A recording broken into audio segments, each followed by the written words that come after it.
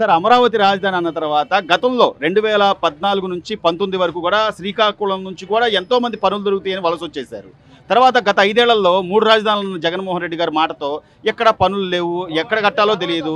ఇప్పుడు మళ్ళీ చంద్రబాబు గారు వచ్చారు అమరావతి రాజధాని అన్నాడు. అసలు ఏంటన్నా ఎలా ఉండబోతుంది జగన్మోహన్ రెడ్డి ఏం చేశాడు? అమ్మ కూడా అన్నాడు ఆ కూడా అన్నాడు ఈ కూడా అన్నాడు పెదల్చు మొత్తం లేదా ఇంకా ఆడి రాజకీయం సన్నాసి చేస్తాడు అన్నాడు. చేస్తాడా? చేయడా? రాజకీయ సన్నాసి ఎవరికి వేసారు అందుకే పదకొండు దీంతో పోయాడు. పరిమితం. మళ్ళీ ప్రత్యేక హోదా కావాలట. ఇంకేమో ప్రత్యేక హోదా? నేను పక్కా రెడ్డినే. ఆడి రెడ్డే. ఇంకా దేనికి పని చేయడాడు రాజకీయ సన్నాసి చేయవలసిదే.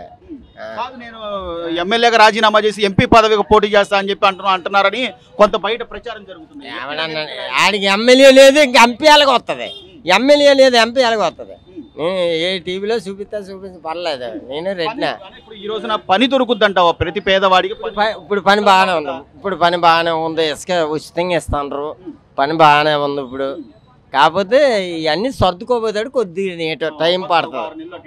టైం పడుతుంది. ప్రతిదీ కూడా ఆయన చెప్తున్నాడు శ్వేతపత్రం ఇస్తున్నాడు ఇదిగో ఇది ఇది- ఇందులో ఈ ఈ అక్రమాలు జరిగినాయి అని చెప్తున్నాడు అమరావతి రాజధాని అన్నాడు ప్రతి పని వాళ్ళకు కూడా ఉచిత ఇసుక అన్నాడు పేద పెద్దవాళ్ళకేమో పెన్షన్ మూడు వేల నుంచి నాలుగు వేలు చేశాడు.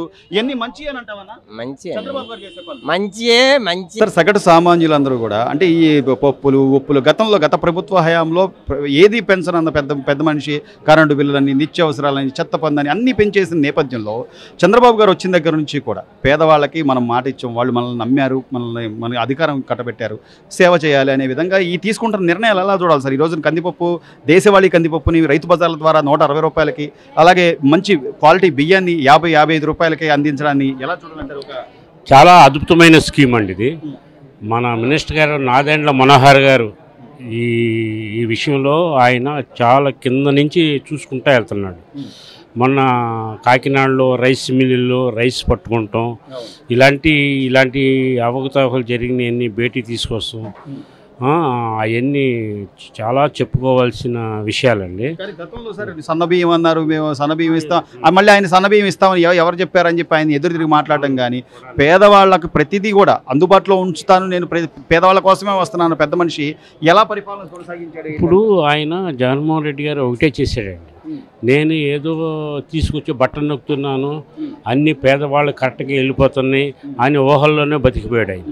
ఓ ప్రజల్లోకి వచ్చేసి మీ కష్ట సుఖాలు ఏంటి అని ఒక నెలకు ఒక ప్రెస్ మీట్గా మీలాంటి రిపోర్టర్స్ మీడియాలో వచ్చి చెప్తే మీకు అన్నీ నేను చేసిన పథకాలు కరెక్ట్గా వస్తున్నాయా రావట్లేదా? ఇంకా ఏమైనా ఉంటే మీ కష్ట సుఖాలు చెప్పుకోండి అని నెలకు ఒకసారి కానీ ప్రజల్లో కానీ వస్తాయి ఏదో ఇవాళ చంద్రబాబు నాయుడు మీద కక్షతో సిద్ధం సభలో ఎలక్షన్ ముందు సభలు తప్ప ఈ ఐదేళ్ళు ఏం చేశాడండి ఆయన ఐదేళ్ళు ఏం చేయలే. ఇవాళ పులివెందులో పులివెందులో ఒక ఫోర్ స్టార్ హోటల్ గురించి చూశానండి నేను. అసలు పులివెందులు లాంటి చిన్న విలేజ్లో నీకు four star five star four star hotels ఎందుకండి? అదేదో ప్రజా ప్ర- ప్రజలకి ఇవ్వాల్సినవి.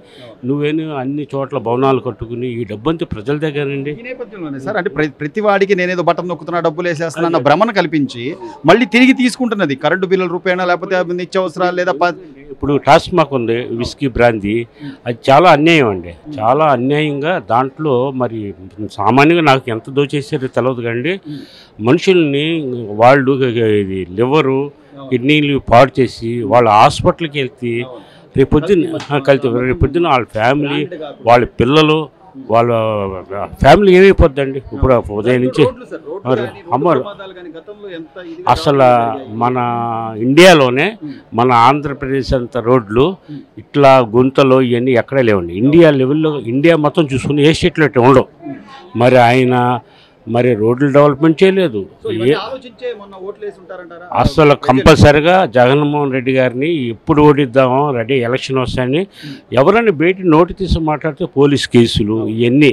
ఏంటంటే ఆ సొంత రాజారెడ్డి రాజ్యాంగం లాగా అన్నారు. రాజారెడ్డి గారు ఇట్లా చేశారో లేదో మాకు తెలియదు కానీ వైఎస్ రాజశేఖర రెడ్డి గారు కూడా ఇట్లా చేయాలి ఈ ఇంకా జగన్మోహన్ రెడ్డి ఇంకా లైఫ్లో ఎక్కడ రేపొద్దున ఎంపీగా నిలబడతాడు. అక్కడ కూడా గెలుస్తాడని నమ్మకం లేదు. అక్కడ కూడా ఓడిస్తారు జనం.